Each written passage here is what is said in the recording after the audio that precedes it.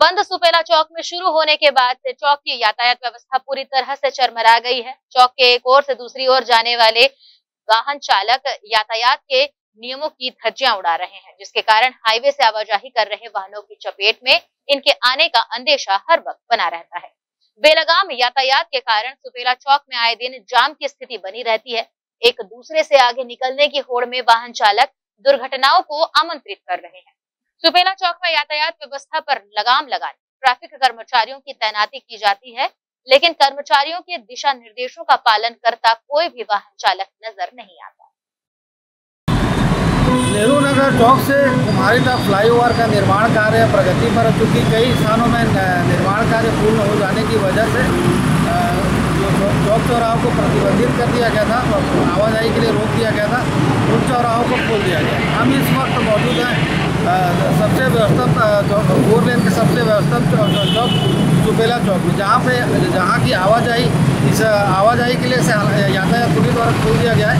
लेकिन आवाजाही यहाँ तक किस तरह से अनियंत्रित हो चुकी है, यातायात पुलिस कर्मियों के बाहर हो चुकी है स्पष्ट रूप से देखा जा सकता है। आप देख सकते हैं कि चौक के चारों ओर हालाँकि आवाजाही पूरी तरह से जारी है, लेकिन यहाँ पे ना कोई ट्रैफ़िक कर्मचारी की तैनाती है, अगर तैनाती है भी तो उनके द्वारा किसी तरह का उनके नियंत्रण से स्थिति बाहर हो चुकी है।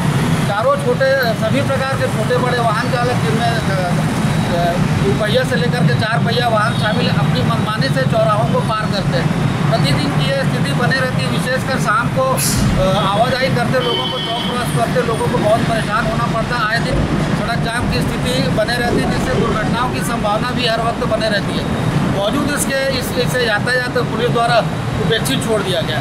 तो वाहन चालक एक दूसरे से आगे निकलने की ओर में आप देख सकते हैं कि बिना यातायात नियमों की परवाह किए चौराहों को पार करते जिससे इनके कभी भी एक दूसरे से टकराने का अंदेशा बना रहता है। हालाँकि इस चौक में कुछ क्षणों के लिए, कुछ पलों का क्या कहा जाए, कुछ घंटों के लिए यातायात पुलिस कर्मियों को तैनात कर दिया जाता है, लेकिन उनके उनके बस से भी बाहर की स्थिति हो चुकी है उनकी बातें सुनने को कोई भी वाहन चालक तैयार नहीं नज़र आता। क्योंकि इस तरह की अव्यवस्था की स्थिति काफ़ी वक्त से बनी हुई है। हालाँकि शाम के समय देखा जाए तो स्थिति और भी व्यवहारिक सीज़न के मद्देनजर स्थिति और भी यहाँ पे पूरी तरह से चौक बाधित रहता आवागमन के लिए। यातायात के वरिष्ठ अधिकारियों की भी इस ओर से लगातार आवाजाही बने रहती है। स्थिति को देखते हुए कि लगातार इसे नज़रअंदाज किया जा सकता जा रहा है। कोई बड़ी दुर्घटना हो, इससे पूर्व यातायात पुलिस को इस ध्यान दिए दिए जाने की आवश्यकता है। साथ ही यहाँ पे कम से कम दो से तीन यातायात कर्मचारियों की तैनाती सुबह आठ बजे से रात को आठ बजे तक किए जाने की ज़रूरत है ताकि यातायात व्यवस्था नियंत्रित रहे और दुर्घटनाओं की संभावनाओं पर अंकुश लगा रहे। ग्रैंड एशिया न्यूज़ के लिए अभिषेक के साथ संजय दुबे।